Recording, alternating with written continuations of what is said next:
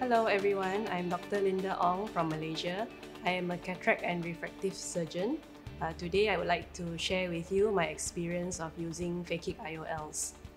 Uh, I've been implanting phakic IOLs for about three years now.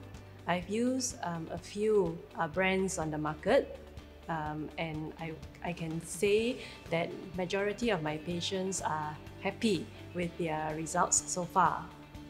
I recently started implanting Eyecryl phakic IOLs from Biotech.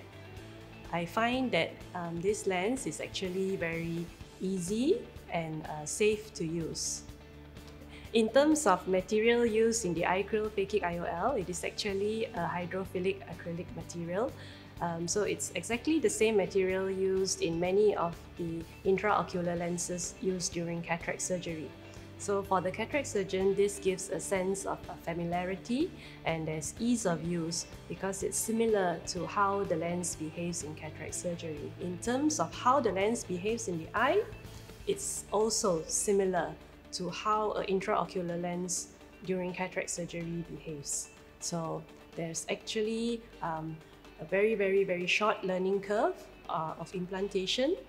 The only uh, thing that the surgeon would need to familiarize themselves would be tucking the haptics under the iris. Um, once the lens is in position, it's actually very, very stable.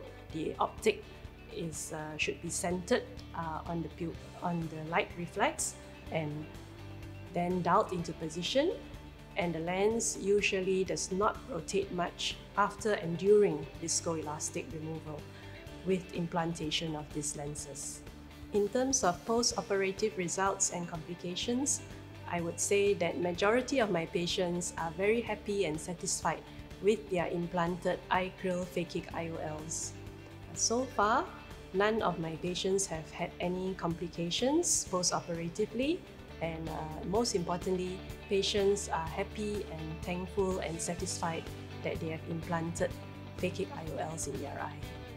I would like to share some tips and advice for cataract surgeons who are attempting to implant phakic IOLs for the first time. Um, go for it. This lens is a very simple and easy to use lens. Um, you will not have much problem learning how to implant this lens and the learning curve is actually very very short. Um, but just to ensure good operative outcomes and results pre-operative assessment is crucial.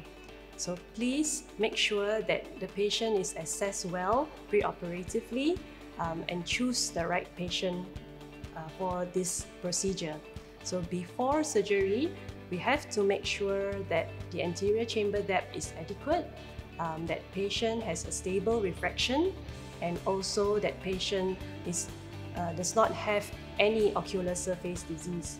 If patient has any problems like dry eyes, please treat them prior to implantation.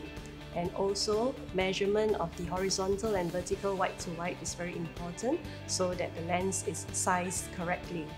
Um, if all these uh, measures are taken before surgery, I'm very sure that you will be able to get a very happy and satisfied patient after the surgery.